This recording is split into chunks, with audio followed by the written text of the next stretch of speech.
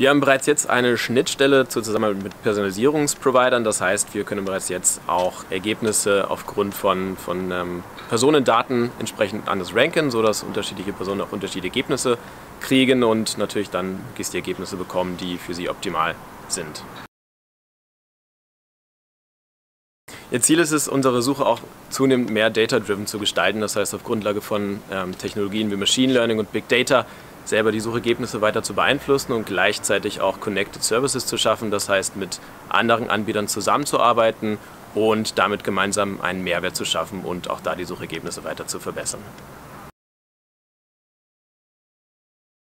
Ja, natürlich ähm, die Möglichkeit auf der Demexco beim Stand bei den Kolleginnen und Kollegen besteht natürlich, sich all diese Dinge live vorführen zu lassen, weitere Fragen dazu zu stellen, einfach tiefer in das Thema eintauchen und, und sich weiter damit beschäftigen und gute Tipps von uns bekommen.